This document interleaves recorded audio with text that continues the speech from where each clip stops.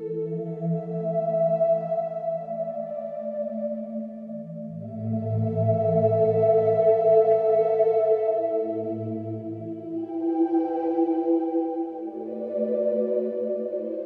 esta manera entonces el juzgado va a absolver por duda al señor procesado porque considera que las pruebas presentadas solo son indicativas de que se pudo presentar un delito sexual.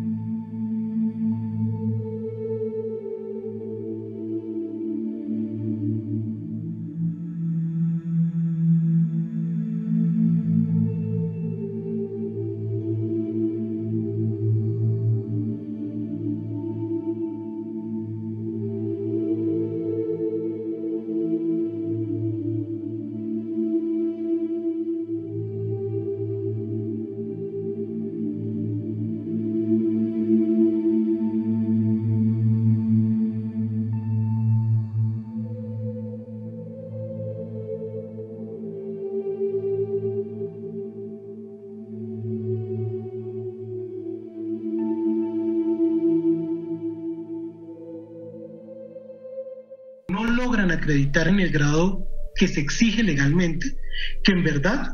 antes de proceder a quitarles la vida en forma desalmada,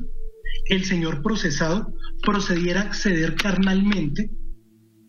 mediante la violencia, a las ciudadanas Sonia Ginés Martínez, Jessica Lorena Orruego Portillo, Sandra Lucía Costa Ramírez, Adriana Patricia Porres Cruz, Ludi Joana Lara Sanabria y a dos personas que no han podido ser identificadas.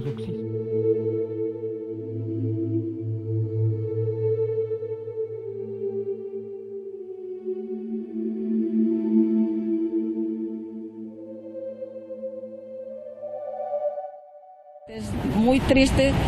saber en la forma que lo encontraron uno como mamá, de verdad que se le hace el corazón. Esperar que haga justicia a Dios porque qué más vamos a hacer.